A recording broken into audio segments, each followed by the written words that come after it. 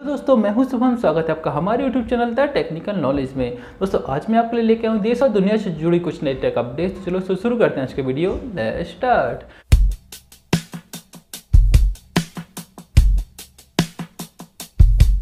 दोस्तों पहले अपडेट यहाँ पर निकल के आई है वो है यहाँ पर मोटोरा वन विजन के बारे में दोस्तों ऑफिशियली अब ये कन्फर्म हो गया है कि, ये स्मार्टफ़ोन जो है बीस जून को लॉन्च हो जाएगा।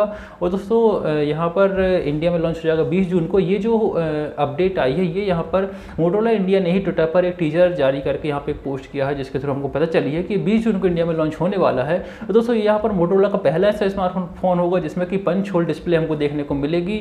और यदि हम प्राइस की बात करें तो ये यहाँ पर दो सौ निन्यानवे यूरो की लगभग लगभग तेईस हज़ार पाँच सौ रुपये के आसपास और हो सकता है इंडिया में भी ये सेमी प्राइस पे आए बाकी दोस्तों अब इंडिया में आता है, तब देखते हैं किस प्राइस पे इंडिया में आता है। तो अगले अपडेट है, वो है यहाँ पर सैमसंग गैलेक्सी एम के बारे में। दोस्तों ये स्मार्टफ़ोन है, ये स्नैपड्रैगन सिक्स के साथ आने वाला है। दोस्तों, इसके टीजर जो है, वो सामने निकल के आया है, जिसमें ये बताया गया कि ये स्मार्टफ़ोन जो है छः रैम और साथ ही साथ स्नैपड्रैगन सिक्स के साथ आने वाला है। दोस्तों यदि बात करें लॉन्चिंग की तो ग्यारह जून में लॉन्च हो जाएगा। और यदि बात करते हैं प्राइस की तो इसकी प्राइस लगभग लगभग बीस हज़ार रुपये के आसपास हो सकती है। बाकी दोस्तों लॉन्च होगा, तभी हमको कंफर्म इसकी स्पेक और प्राइस के बारे में पता चल जाएगा। 来一个 दोस्तों, अगले अपडेट है वो यहाँ पर नोके 3.1 ए और नोके 3.1 सी के बारे में। दोस्तों, ये स्मार्टफ़ोन जो है अमेरिका में लॉन्च हो गए हैं और दोस्तों, ये स्मार्टफ़ोन नोके 3.1 के सक्सेसर बन के सामने आने वाले हैं, जो कि नोके 3.1 ए और नोके 3.1 सी दोस्तों हम बात करें स्पेक की तो दोनों के स्पेक में कोई अंतर नहीं है। यहाँ पर इनमें हमको देखने को मिलेगी फाइव इंचज़ की एच प्लस डिस्प्ले जो कि एट्टीन डिस टू नाइन का स्पेक्ट रेशियो के साथ आएगी।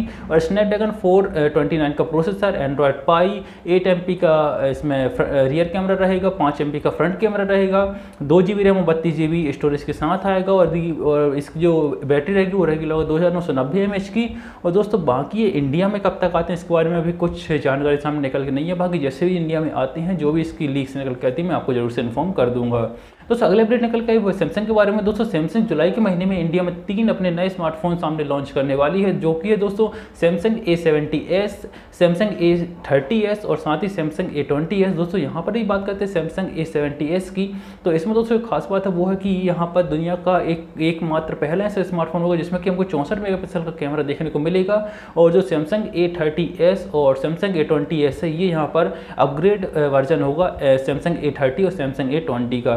और दोस्तों जब ये लॉन्च होते हैं इंडिया में जुलाई के महीने में, तब देखते हैं कंफर्म क्या क्या स्पेक के साथ सामने आते हैं किस प्राइस पे यहाँ पे सामने निकल के आते हैं। तो अगली अपडेट है वो है यहाँ पर नोबिया रेड मैजिक थ्री के बारे में। दोस्तों फाइनली ये कंफर्म हो चुका है कि नोबिया रेड मैजिक थ्री जो है वो सत्रह जून को यहाँ पर इंडिया में लॉन्च हो जाएगा। और दोस्तों, मैं आपको बता दूँ कि ये स्मार्टफ़ोन है, एक गेमिंग स्मार्टफ़ोन है, जिसमें कि हमको स्नैपड्रैगन एट का लेटेस्ट प्रोसेसर देखने को मिलेगा और साथ ही इसमें फ़िज़िकल कूलिंग फ़ैन भी देखने को मिलेगा।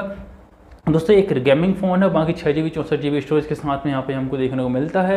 और प्राइस दोस्तों क्या होती है, ये हमको पता चलेगा जब इंडिया में लॉन्च हो जाएगा। थोड़ा सा वेट कीजिए, सत्रह जून को इंडिया में फाइनली ये लॉन्च हो ही जाएगा। तो दोस्तों, आज के लिए बस इतना ही। उम्मीद करता हूँ कि आपको मेरा वीडियो पसंद आया होगा। यदि आपको मेरा ये वीडियो पसंद आया इस वीडियो को लाइक कमेंट शेयर करना भूलिए। और साथ ही हमसे जुड़े रहने के लिए हमारे यूट्यूब चैनल को सब्सक्राइब कर दीजिए और उस बेल आइकन उसको दबा दीजिए, जिससे कोई भी वीडियो अपलोड होगी तो उसकी सबसे पहले नोटिफिकेशन पहुंचेगी आपके पास। दोस्तों, आपसे मिलता हूँ अगले वीडियो में। तब तक के लिए बाय बाय